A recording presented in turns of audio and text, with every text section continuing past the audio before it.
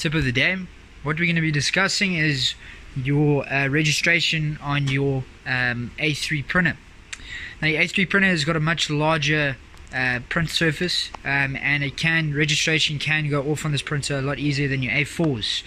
So what we do here at Uprint is we actually I've taken a granite uh, a cut off here and I've used that to place my printer on top of there and that's going to give me a very flat surface you can also use a spirit level to uh, adjust the, the height of your granite table. If it is slightly off the bottom then you can adjust it accordingly.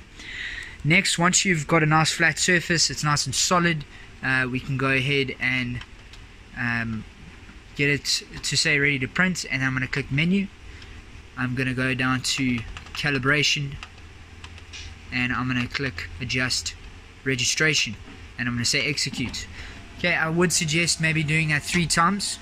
Once you hear the engine stop moving that's when the ex the uh, registration has been executed and it's done its process. Um, I suggest maybe doing that three times and you can always print out a configuration page and at the bottom there you can see if your your colors are correct um, and then you can uh, go from there. If it is not registered after three times, try a fourth, try a fifth time.